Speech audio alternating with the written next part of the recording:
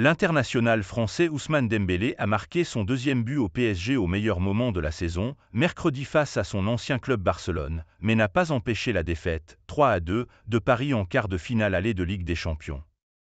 Des retrouvailles fêtées par un but mégaché par le revers subi par Paris au terme d'un match un peu fou comme celui de mardi entre le Real Madrid et Manchester City, 3 à 3. Souvent moqué pour ses occasions manquées, Dembélé n'a d'ailleurs pas caché sa joie, les bras écartés devant ses anciens coéquipiers barcelonais, alors qu'il venait de parfaitement ajuster le gardien Marc-André Ter Stegen, 48e, 1 à 1.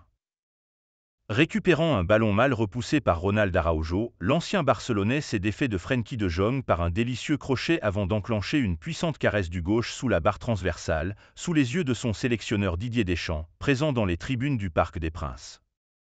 Arrivé cet été de Catalogne, le numéro 10 a marqué seulement son deuxième but sous les couleurs parisiennes, après celui contre Monaco en novembre dernier, déjà somptueux.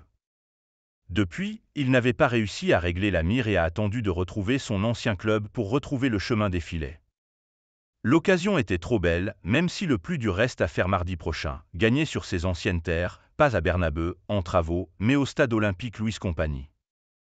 Le natif de Vernon a été tout près de marquer un doublé mais sa frappe du droit a fini sur le poteau gauche du but barcelonais, 75e, qui aurait permis à Paris de repasser devant au score. Juste avant, 71e, seul au point de pénalty, il n'était pas loin de reprendre un centre de Warren Zaïre En fin de match, il a eu l'occasion d'égaliser mais sa frappe a filé hors du cadre, 88e. Malgré ses lacunes dans le dernier geste, il est indispensable depuis le début de la saison dans le jeu offensif du PSG par ses dribbles et surtout par ses passes décisives, 13 toutes compétitions confondues, qui font de lui le meilleur passeur parisien. C'est l'un des joueurs les plus constants et réguliers.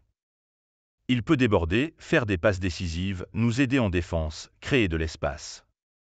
C'est l'une des meilleures recrues de la saison et un joueur vital pour nous, répète à l'envie Luis Enrique, évoquant aussi un spectacle permanent ou le qualifiant de joueur le plus déséquilibrant du monde. Au calme sous la pression. Oscillant entre le côté droit et l'axe mercredi soir, il n'a pas vraiment été tranchant pendant la première période, perdant notamment plusieurs ballons, parfois dangereux, 44e.